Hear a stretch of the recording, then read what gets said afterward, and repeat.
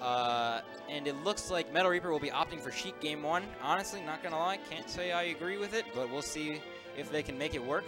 Uh, using the same team composition that Brian Grog and I did in winner semis.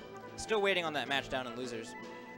Uh, if you like what you see here, drop a follow, drop a subscription, do what you can, view when you can. Uh, definitely a good thing going on here. Unfortunately, the last one before... All right, I got to go play. The last one before school starts for most people, so we'll see if the attendance keeps up. All right, I got to play.